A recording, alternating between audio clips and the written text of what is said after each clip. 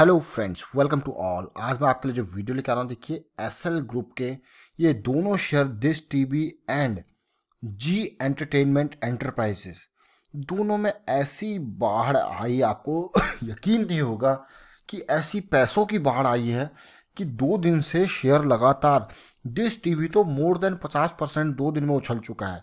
बहुत ही ज़बरदस्त। आज यानी कि फ़र्स्ट नवंबर और कल इकतीस अक्टूबर, दोनों दिनों में ऐसा उछाल देखने को मिला है, शायद ही किसी शेयर में ऐसा देखने को मिलता है। ऑल ये दोनों शेयर काफ़ी गिर गए चुके हैं, काफ़ी नीचे लेवल पे जा चुके हैं, लेकिन अचानक ऐसे पैसों की बाढ़ आई है इन दोनों शेयर्स में। जरा देखते हैं ऐसा क्या हुआ दो चार दिनों में इन दोनों शेयर्स में और क्या कारण हो सकता है इसका।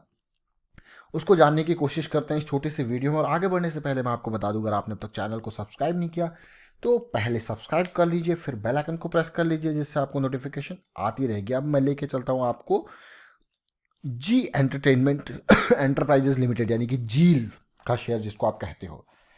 एक टाइम पे बहुत अच्छा खासा शेयर चल रहा था, लेकिन धीरे धीरे धीरे इस शेयर में बड़ी गिरावट देखने को मिली, क्योंकि इस शेयर में गिरवी रखे हुए शेयर बहुत सारे हैं प्रोमोटर्स के, इसीलिए काफ़ी गिरावट देखने को मिली। फ़िलहाल जो मैं देख पा रहा हूँ, आज की डेट में 18 परसेंट के आसपास का जंप देखने को मिला। एक टाइम पे इसने तीन सौ का हाई बनाया था। 261 पे ओपन होने के बाद पचास रुपए के आसपास का जंप अपने आप में ये बड़ा जंप।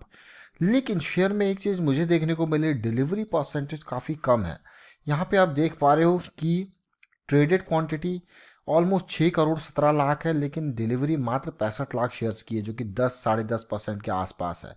ये हम जी एंटरटेनमेंट एंटरप्राइजेज की बात कर रहे हैं और वहीं पे अगर आप देखो Dish TV India Limited Dish TV India Limited जो कि आज की डेट में ऑलमोस्ट कितना, तीस परसेंट से ऊपर की उछाल देखने को मिली। अगर एक टाइम का हाई आप देखोगे इसमें तो वो सोलह रुपये पैंतालीस पैसा है। आप क्लियरली देखिए, सोलह रुपये पैंतालीस पैसे का हाई इसने बनाया। तो यहाँ पे तीस परसेंट से काफ़ी ऊपर ये उछाल था।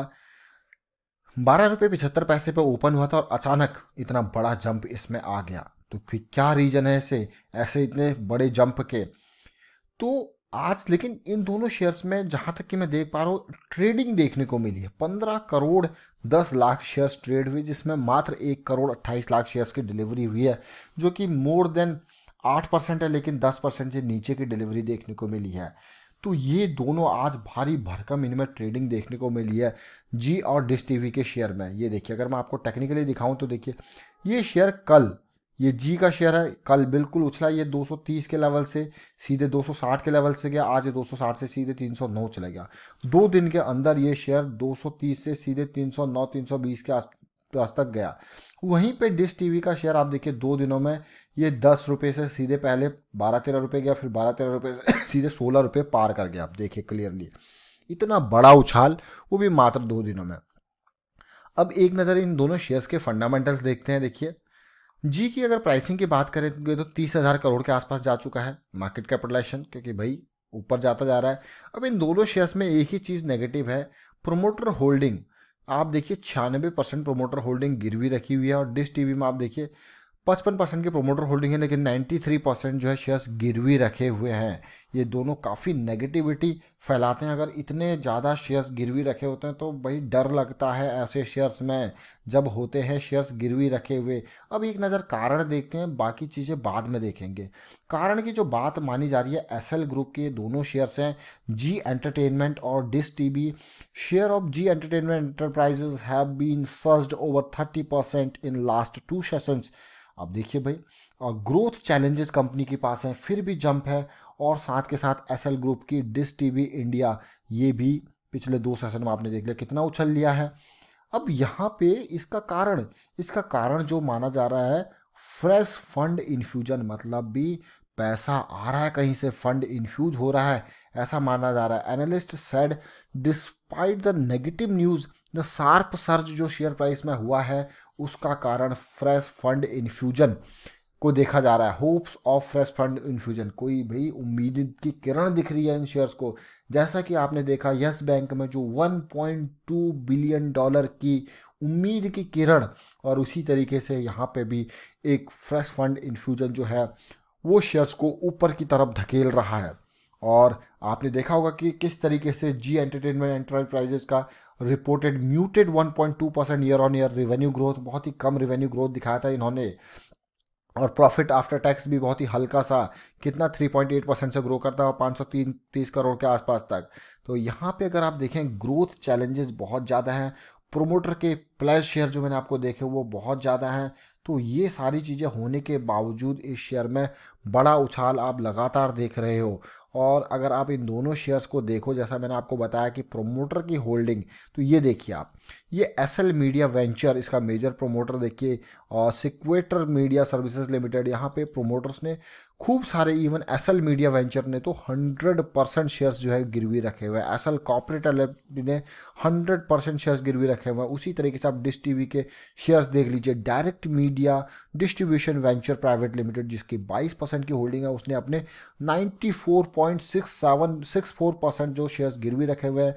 Even Veena investment private limited ने भी अपने 99.89 परसेंट शेयर्स गिरवी रखे हुए हैं। और साथ के साथ वर्ल्ड क्रेस्ट एडवाइजर ने भी अपने 100 परसेंट शेयर्स गिरवी रखे हुए हैं। भैया, यही तो जो ये गिरवी रखे हुए शेयर्स का, यही डर बहुत बड़ा होता है। तो मैं तो कहूँगा भाई, ये कितनी भी शेयर उछल जाए, एक रिटेल इन्वेस्टर को यहाँ पे नहीं फंसना, क्योंकि कोई मुझे वैल्यू जी कितना अच्छा क्यों ना हो डिस टीवी कितना अच्छा क्यों ना हो, लेकिन ये गिरवी रखे हुए शेयर अपने आप में एक बड़ा डर है।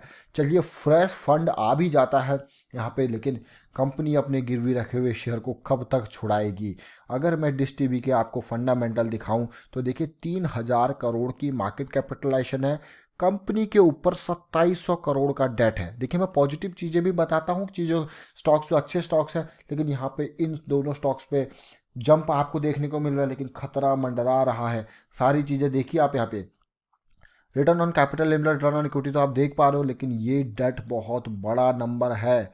अगर मैं प्रॉफिट एंड लॉस के नंबर यहाँ पे देखूँ नो डाउट यहाँ पे रिवेन्यू आपका लगातार आपको बढ़ता हुआ दिख रहा है सेल्स में। लेकिन प्रॉफिट भाई कहाँ प्रॉफिट है? देखिए 400 करोड़ 400 करोड़ 100 करोड़, ये लॉस बीच में थोड़ा प्रॉफिट आया, फिर से इतना बड़ा बड़ा लॉस क्यों जाना है इस कंपनी की तरफ़ भाई इतना लॉस है तो? चाहे कितना भी उछले शेयर हमें क्या करना है? यहाँ तो कंपनी लॉस ही लॉस दिखा रही है नंबर्स में। उसी तरीके से जी एंटरटेनमेंट एंटरप्राइजेस की ओर आते हैं तो ये प्रॉफिट दिखाती है कंपनी लेकिन 2018 2019 दोनों में प्रॉफिट में काफ़ी कमी देखने को मिली है ऑल दो 2017 में बड़ा प्रॉफिट देखने को मिला था। अब एक नज़र टेक्निकल पे आइए। जी के टेक्निकल पे अगर मैं आपको लेके चलूँ तो देखिए, किसी टाइम पे कितना बढ़िया शेयर हुआ करता था, लेकिन इसकी उल्टी गिनती स्टार्ट हुई मई 2018 से। ये शेयर धराशाही होता होता आपको यकीन नहीं होगा, यहाँ पे अभी इसने एक सौ के आसपास का लो बनाया। ये देखिए, एक सौ के आसपास का लो बनाया। ये अक्टूबर एक की बात है। बिल्कुल लो बनाया, उसके बाद शेयर धीरे धीरे ऊपर गया और मुझे लगता है कि भैया ये जहाँ तक गया, यहीं तक ये एक स्ट्रॉन्ग रेजिस्टेंस पॉइंट है। अब देखते हैं क्या होता आगे। उसी तरीके से आप डिश टीवी इंडिया के शेयर को देख लीजिए। मतलब ये डेली टाइम फ्रेम पे मैं देख पा रहा हूँ, देखिए कहाँ, कब से ये गिर रहा है। ये स्टॉक ने जो लास्ट हाई बनाया था यहाँ पे 120 के लेवल पे अगस्त 2015 उसके बाद गिरता जा रहा है। 200 डे मूविंग एवरेज से देखिए, बिल्कुल नीचे है 50 डे एक्सपोनेंशियल मूविंग एवरेज मतलब स्टॉक में स्ट्रेंथ आई नहीं। अब जी के शेयर को देख लीजिए तो हमारा तो वही मानना है भाई, एक बार डेथ क्रॉस बन गया तो स्टॉक में भाई अब एंट्री नहीं करनी है भाई एंट्री वाला स्टॉक नहीं हो गया स्टॉक वीकनेस वाला हो गया सेल करके कमा रहे हो तो कमा लो, लेकिन एंट्री प्रॉफिट बाइंग करने के काम का नहीं है ये अब।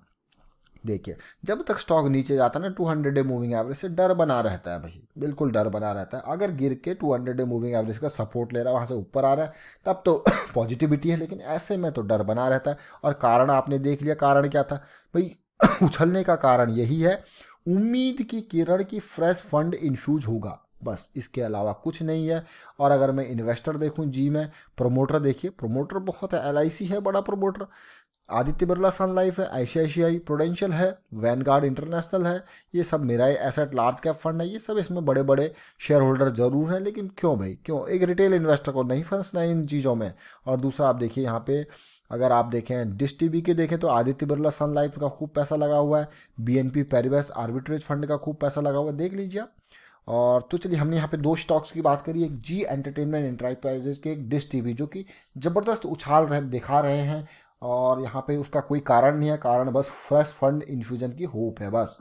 चलिए, फ़िलहाल मैं वाइंड अप करता हूँ वीडियो को और उम्मीद करता हूँ आपको वीडियो अच्छा लगा होगा। आपके पास कोई इन्फॉर्मेशन हो दोनों शेयर्स के बारे में तो कमेंट के थ्रू ज़रूर बताएँ। चैनल अगर आपने तक तो सब्सक्राइब नहीं किया तो सब्सक्राइब कीजिए बेल आइकन को प्रेस कीजिए, जिससे आपको नोटिफिकेशन आती रहेगी। Thank you thank you for watching the video